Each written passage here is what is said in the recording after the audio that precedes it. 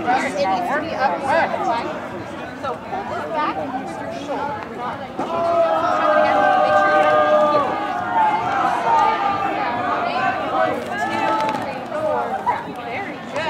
You're going to come down, let go.